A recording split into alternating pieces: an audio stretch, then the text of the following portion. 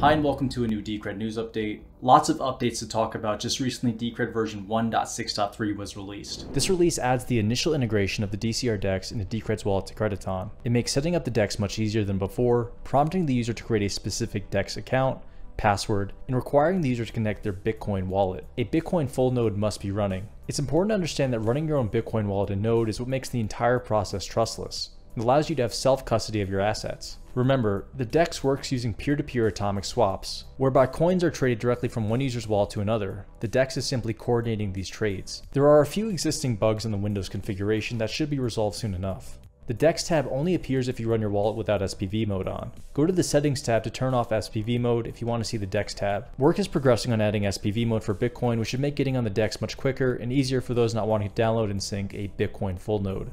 The DEX requires an always unlocked wallet in order to perform its operations. Thus, to increase security, DCR Wallet has introduced a per account locking mode. Instead of completely unlocking the wallet, only specific accounts may be selected for unlocking, preventing funds from other accounts from being drained in case of certain tax scenarios. This is also helpful for ticket buying and privacy enabled wallets. Only those accounts remain unlocked during their respective operations. To enable this behavior, during the first startup in version 1.6.3, Decrediton will ask for the wallet's current private passphrase and will use the same passphrase for every account. Initial server-side Ethereum asset support has been merged on the DEX, as well as UI and usability enhancements. Other improvements in 1.6.3 include fixing situations which cause unexpected low balance bugs when purchasing tickets with a VSP. Reliability improvements were made to ensuring that fees are correctly paid to the VSP. This will result in lower missed ticket rates. Fixes were also made to the automated ticket buyer, bugs with individual encrypted accounts, and a data race dealing with the synchronization of managing locked outputs. The first Decred T-spend from the treasury of 0.1 DCR is finished voting, was successfully spent. Moving forward, all spending from the Treasury will be voted on explicitly by stakeholders. Voting on Treasury spends is currently only available to command line users, though integration into Decrediton should be here in the near future to allow those users to cast their votes. The first spend had 6,755 yes votes and just one no vote. Two-factor authentication support has been added to Decred's proposal platform Politeia. Just go to the settings tab to set it up. The Decred mobile wallets have also been updated.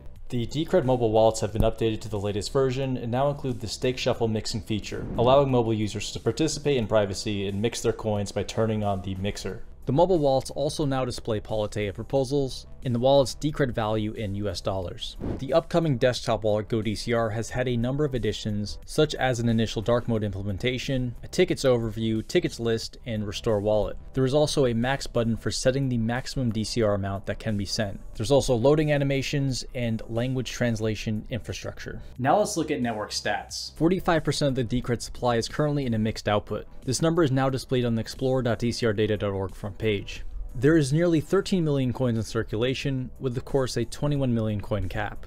A new staking participation all-time high of 58.6% Decred has been reached. Ticket prices have once again dropped to around 178 Decred per ticket, after falling from a price of 198. Now let's look at community updates. Decred founder Jake Yocom-Piatt was interviewed by Dominic Frisby on his YouTube channel. Tell me your aims for the project over the next year. Um, there's, there's technological things that you've already outlined a whole bunch more uh, listing uh, uh, trading pairs on the DEX. Um, we're going to be adding uh, post quantum uh, post quantum secure mixing pretty soon, so that should be fun. That means that even if a big world government were to have a quantum computer at scale somewhere underground, they can't undo these mixes, which should be you know irksome. I, I expect. Um, let's see what else. We're we're going to be add we're going to be doing some more consensus changes that have to do with um, or at least putting them up and seeing if, if people you know support them that have to do with um, adding schnorr support and potentially taproot support. I say potentially because taproot is obviously schnorr plus a lot of other stuff. So uh, whether we get all of that in there, we're going to start with Schnorr because we we feel like that's a sure thing. We're probably we're going to be moving towards a mesh network for the mixing and uh, so for the privacy privacy slash mixing and for the DEX. Those are currently have centralized servers, but you know the, the the real path forward and i mentioned this before in terms of the how the how is is that you make it non-custodial then you make a server mesh, and then you make sure incentives are aligned. And and we're moving towards the the mesh network part of the privacy and the uh, and the and the exchange. When Satoshi Nakamoto designed Bitcoin, one of his key aims was to create a money system that had no central point of failure.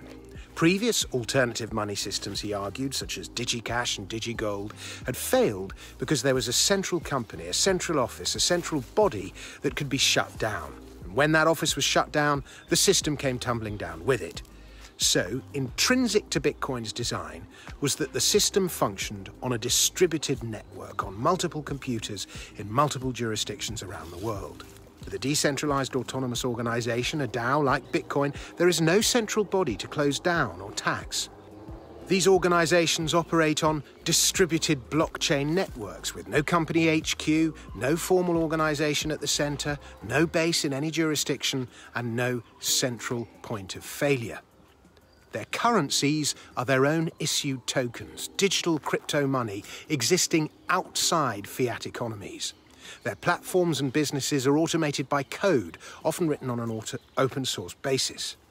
One vehicle is to look at the coins on, when, on which many of these platforms will be built, the likes of Ethereum, Cardano, Polkadot. I have a fondness for a little known coin by the name of Decred, short for decentralized credits, which you can buy at crypto exchanges such as Binance, Poloniex, and Bittrex. Why do I like Decred? It's underhyped and the dev team is superb. There are, there are maybe 30 or 40 exceptional developers in the crypto space, and six or seven of them work on Bitcoin. A good three or four of them are in Decred. We also had news media generated around the recent Decred releases with the help of Decred contractor Lindsay McConaughey of Monde PR, including an article in Brave New Coin featuring news about the decentralized treasury activation, an article in Coindesk featuring commentary by Decred developer Luke Powell about his experience at Consensus. The DCR DEX integration announcement was covered by Bankless Times and Crowdfund Insider. The Crowdfund Insider article was syndicated to Crypto News BTC, MCC Exchange, and Money Now.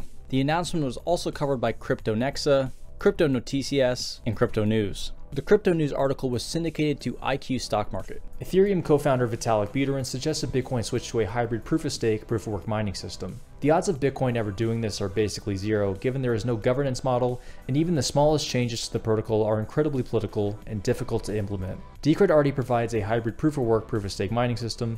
It's the primary feature of the chain, and we've already had multiple successful on-chain consensus votes, and have never been 51% attacked in Decred's five-year history. People looking to use a hybrid system should probably check out an already established project like Decred. Decred Society has released two new Decred Fundamental Series videos. One of the unique values and properties of a good cryptocurrency is a fixed maximum supply. This is in complete contrast to what we see in our fiat currencies, where supply is infinite and money printing has become more frequent over the last 10 years. Decred has a maximum supply of 21 million coins, similar to that of Bitcoin. These coins are mined into existence every 5 minutes until the full supply is realized in 2120. By 2027, the bulk of the supply will be in circulation, approximately 19 million. The remaining 2 million coins will be produced slowly over the next 100 years.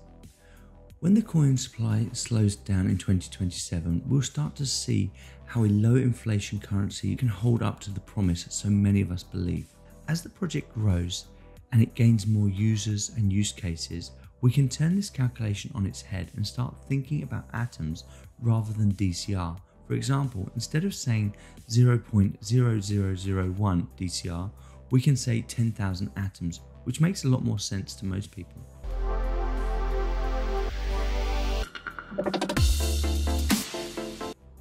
In most governance systems, the community is very much overlooked as being insignificant.